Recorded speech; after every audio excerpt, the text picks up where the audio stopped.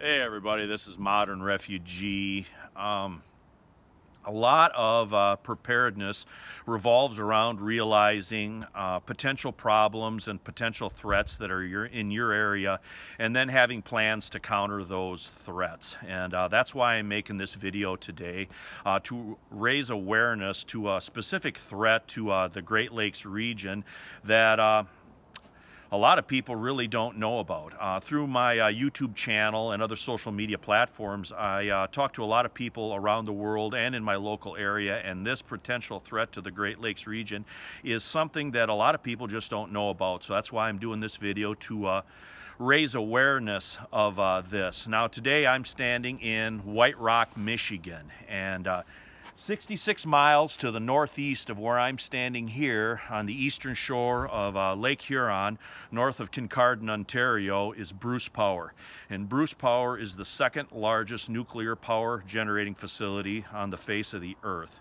Um, with its eight nuclear reactors, um, it generates up to 30% of Ontario's power.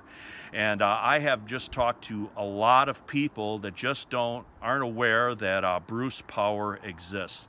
And because we're on uh, Lake Huron here, on one of the largest bodies of fresh water in the world, I think it's uh, something in the people in the preparedness community need to uh, need to know about. So that's why I'm uh, doing this video um, to let uh, you guys know about uh, Bruce Power and uh, let you guys uh, uh, figure how an incident um, at Bruce Power would would affect you if you live in Michigan, Ontario, or Ohio, just because of the large population that exists. Now, there's a lot of things that have have to do with a radiological incident. You have to take into effect uh, you know, prevailing winds, uh, proximity to the event, watershed, this kind of thing.